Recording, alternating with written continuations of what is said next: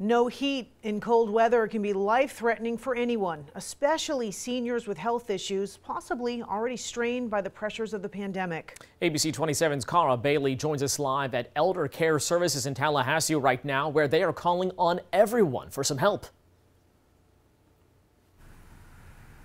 So Elder Care Services usually gives out about 200 space heaters each year, but at last check, they only had one, and that's with 108 people waiting on one still.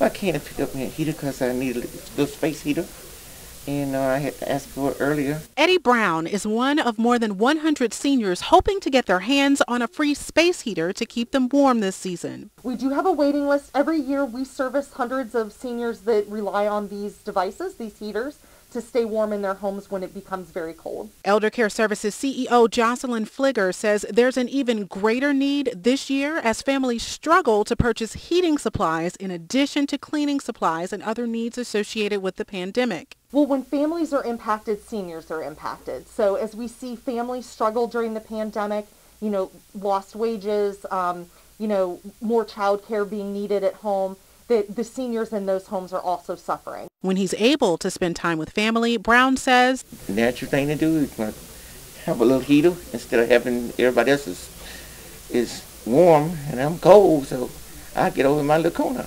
And while heaters are top priority, there are other ways you can help. So blankets are also a great way that we can ensure that seniors are staying warm without increasing their utility bill. And we're taking new blankets and that these will go straight out to our Meals on Wheels clients and other seniors that are sheltering at home. Can drop off both heaters and blankets right here to their office on West Tennessee Street. We double checked on those hours for you. It's between Monday and Friday, 8 a.m. to 5. In Tallahassee, Cara Bailey, ABC 27. Thank you, Cara.